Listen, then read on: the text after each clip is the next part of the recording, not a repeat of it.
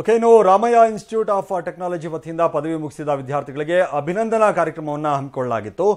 ಬೆಂಗಳೂರಿನಲ್ಲಿ ನಡೆದಂಥ ಈ ಕಾರ್ಯಕ್ರಮದಲ್ಲಿ ರಾಮಯ್ಯ ಇನ್ಸ್ಟಿಟ್ಯೂಟ್ ಆಫ್ ಟೆಕ್ನಾಲಜಿಯ ಹಳೆಯ ವಿದ್ಯಾರ್ಥಿನಿ, ವಿದ್ಯಾರ್ಥಿನಿಯರೆಲ್ಲರೂ ಕೂಡ ಭಾಗವಹಿಸಿದರು. ಐ ಎ ಎಸ್ ಅಧಿಕಾರಿ ಕೆ ಆರ್ ನಂದಿನಿ ಅವರು ಕೂಡ ಈ ಸಂದರ್ಭದಲ್ಲಿ ಪಾಲ್ಗೊಂಡಿದ್ದರು ಇದೇ ವೇಳೆ ಅವರು ಮಾತನಾಡಿದರು, ದೇಶವನ್ನು ಯಾವ ರೀತಿಯಲ್ಲಿ ಮುನ್ನಡೆಸಬೇಕೆಂಬುದು ನಿಮ್ಮ ಕೈಯಲ್ಲಿದೆ. ಅದನ್ನು ನಿರ್ಧರಿಸಬೇಕು. ನೀವೇ ದೇಶವನ್ನು ಅಭಿವೃದ್ಧಿಯ ದಿಕ್ಕಿನೆಡೆಗೆ ಕೊಂಡೊಯ್ಯಬೇಕು ಅಂತ ವಿದ್ಯಾರ್ಥಿಗಳಿಗೆ ಕಿವಿ ಮಾತನ್ನು ಹೇಳಿದರು. ರಾಮಯ್ಯ ಇನ್ಸ್ಟಿಟ್ಯೂಟ್ ಆಫ್ ಟೆಕ್ನಾಲಜಿ ನಿರ್ದೇಶಕ ಎಂ ಆರ್ ಸೀತಾರಾಮ್ ಮಾತಾಡಿ ವಿದ್ಯಾರ್ಥಿಗಳ ಸಾಧನೆಗೆ ಎಂದಿಗೂ ಕೂಡ ಪ್ರೋತ್ಸಾಹ ಇದ್ದೇ ಇರುತ್ತೆ ಅಂತ ಭರವಸೆಯನ್ನು ಕೊಟ್ಟರು ಇದೇ ವೇಳೆ ಹದಿಮೂರು ವಿಭಾಗಗಳಲ್ಲಿ ಸಾಧನೆಗೈದಂಥ ವಿದ್ಯಾರ್ಥಿಗಳಿಗೆ ಪ್ರಶಸ್ತಿಯನ್ನು ನೀಡಿ ಅಭಿನಂದನೆ ಸಲ್ಲಿಸಲಾಯಿತು.